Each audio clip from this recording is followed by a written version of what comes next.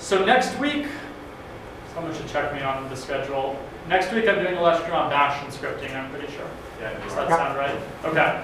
So same room, same time next week. We're going to be going over some advanced command line type stuff and some basic Bash scripting.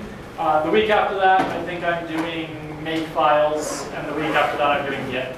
So feel free to come back. Uh, thanks for sticking around. I will stay around for the next half an hour if people have one-on-one questions. This video will be online later. Thank you, guys.